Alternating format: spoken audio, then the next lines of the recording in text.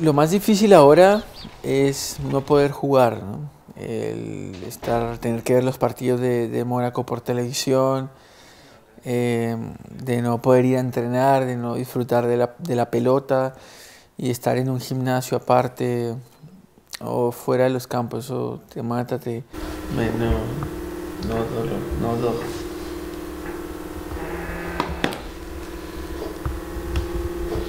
A la cabeza hay que estar bastante bien.